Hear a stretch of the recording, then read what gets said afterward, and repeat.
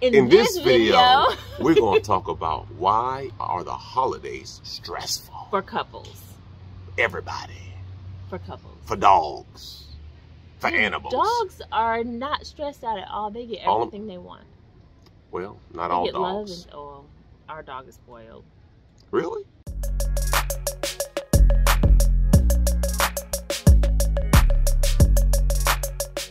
Hi, I'm Charmaine, I'm Jomo. And in this video, we'll be talking about why Christmas is stressful for couples. Okay, so jump why in. Christmas is stressful for couples. I think okay. I think it starts off number one with Mhm. uh, gift giving and expectations of gift giving. right, and people trying to one up each other. Mhm. Like, you know, they feel inadequate if their gift doesn't equal the same price as the other person's gift. you know, it's nothing nothing worse than somebody giving you a gift you didn't expect. Now you receive the gift, but you feel some kind of way. So most people have a closet of gifts for the people who just, you know, I wasn't ready for that, but I got something for you. I have that. Oh, I know. And I put gifts underneath the tree for people that come over the house and give us a gift and we weren't expecting it. I just don't put a name on it. And it'll be a really nice gift that was just sitting under the tree for somebody to come over. I mean, because you, you there's there's something about it's actually a marketing tool, whereas they give uh, even in marketers give you stuff for free pens or it's, stamps. it's psychological. it's like a logical where you feel indebted to them to do something because they gave you Mhm. something. So I think a lot of times Christmas can be stressful for couples as well because if you're dating someone and you really aren't that serious or you're not sure if it's going there, it's going to be like this this is not your lifetime partner. oh, you talking about this? Then- Is, this this is just like a, holiday fling?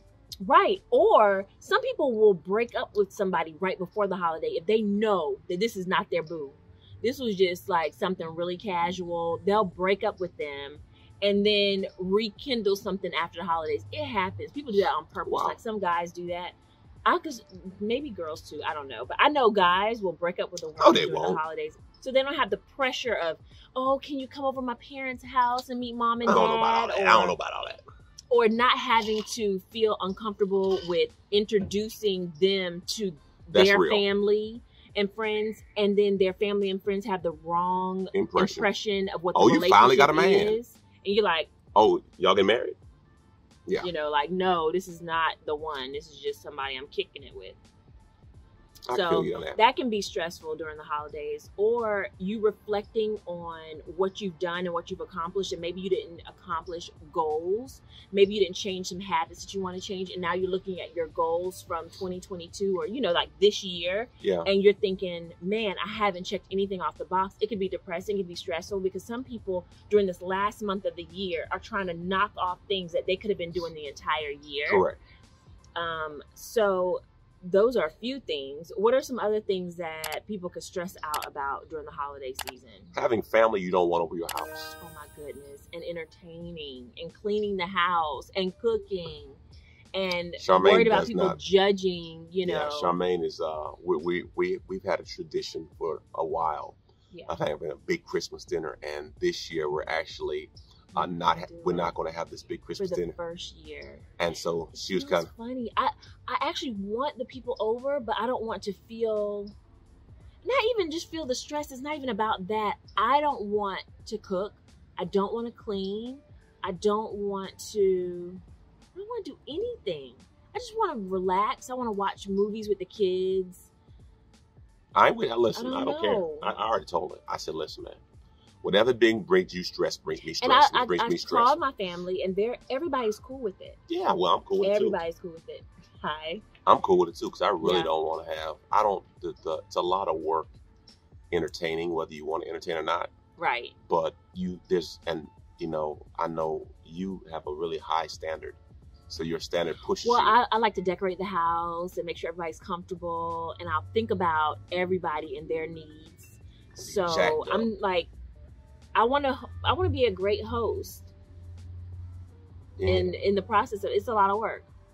yeah, you toe up. I actually um, hurt myself during Thanksgiving, um, just doing too much and like all the cooking, all the cleaning, all the decorating and setting tables and pulling chairs and all that stuff.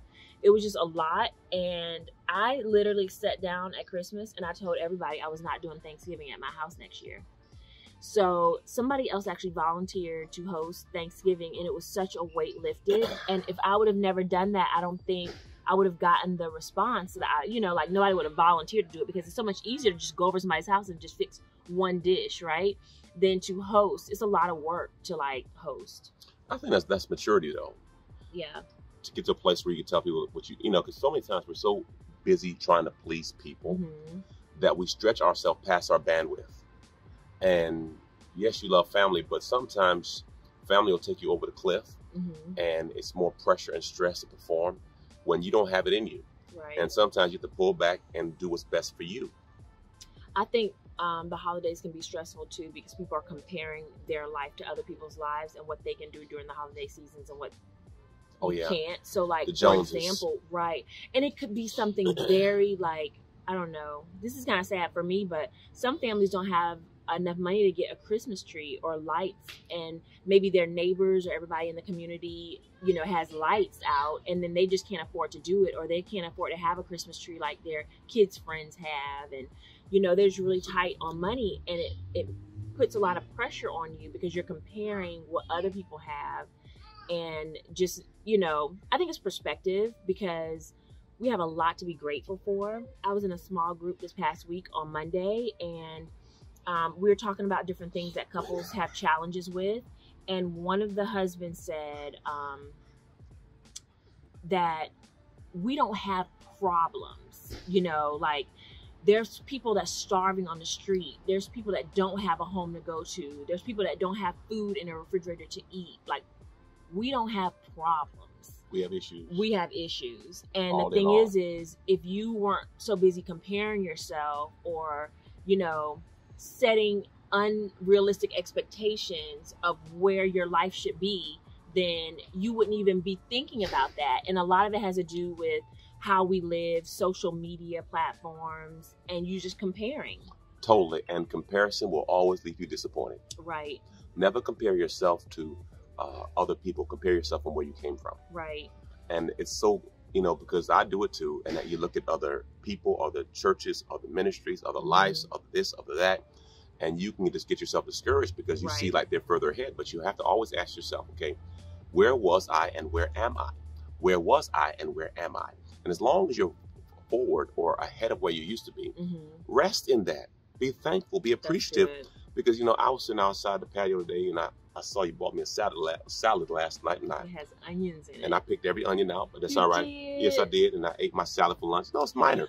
I was like so disappointed when I saw those onions. I didn't want to mention to you the salad No. because it had onions. I was like, That's minor. good. Onions can be taken out. That's not a big deal. Yeah. So I sat on the patio and Mhm. I, I ate my salad, and I was I was thanking God for where I was. Mm. I, I was thanking God for the patio. I was thanking God for the pool. I was thanking God for trees because, like, you know what? I'm so thankful for where I am. right. And then it hit me, man. I've had a tremendous life, even though I know God, however long God has me here. Mhm. I said, I don't think I've ever had a bad house. I mean, we had our first house in our early 20s, Yeah. and we've always been in a house. hmm Uh, we had an apartment for a hot second, Right. but my point is, for most of our relationship, we've been in our own home. Hmm And Charmaine was saying, you know, Jomo, she was just telling me, like, Jomo, you've always had businesses, and all your businesses have been successful. hmm and I, yeah, they have, but sometimes if you're not careful, you will minimize where you are, looking at someone else's star, Absolutely. not realizing you in space too. Yes. So I'm that's saying- so good. So you you have to really reflect and be Mhm. thankful and appreciative right. of where you are. And you know, because I looked at it, and you know, I wasn't trying to be braggadocious, but I was doing my calculation, and I think for most of my life, I've made over a hundred thousand dollars. right. I don't know how me say that. I mean, but for most of my life hmm and of my adult life, I've never I've made under. But when I look at the average of my life as a, as a working adult, Right. I've I've averaged over a hundred thousand dollars a year. hmm That is abnormal. Yeah. That's so. I said, man, thank you, Lord. Yes. Now I'm not well. I'm not all the way there yet, but my trajectory is the where I want to be. Right. So one of the key aspects of being thankful hmm is to be grateful. That's good. Piggybacking off of what you're saying, I think too, couples should reflect on where they were and where they are now. Yeah. So if you look at where you were five years ago, two years ago, three months ago, and it's not where you want to be, that's okay. But if you've made improvements, write the improvements down so you can be thankful for where where you've come from. Mhm. Okay. And then if you say, hey, we're in the same spot we were a year ago, hey, make some expectations and some goals to set. And then not only make the goals, but um, create a. Um, like a plan on how to get to the goals. Because a lot of times people will set goals but then they don't set the plan in Yeah. motion. Like okay how are we going to do it? What are we gonna do different? what are we going to do different? How are we going to create new habits? So the thing is is don't compare yourself to other people. Compare yourself to yourself. Like where how have you grown personally? Real how have you grown as a couple personally? And be thankful for where you are because it could be worse. It could Uh-huh. always be worse hmm um, one last thing that we can talk about as far as stress um, during the holiday season for couples is a lot of couples their sex life goes whoo, it goes down uh, during the holiday season and do you know why Why? because stress levels are up because it's cold outside you don't want to take your clothes off better You turn bet- that You better take Better them clothes off. You better better take them clothes off. on You better take them clothes off. No, but you know, if it's cold outside, your spouse is depressed about things that's going on in their you life. You got bills you can't Gifts you pay, can't pay. Gifts, you can't buy. Um, it it puts a lot of stress and it makes you not want to be in the mood, Mhm. right? Yep.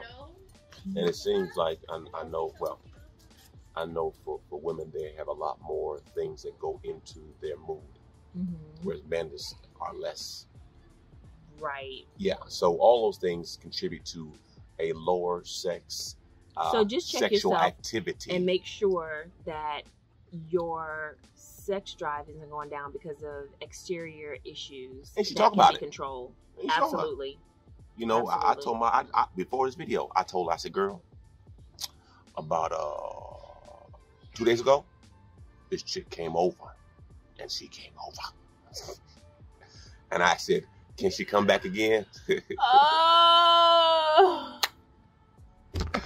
Ah, Okay. And remember, Love, love, laugh, and learn.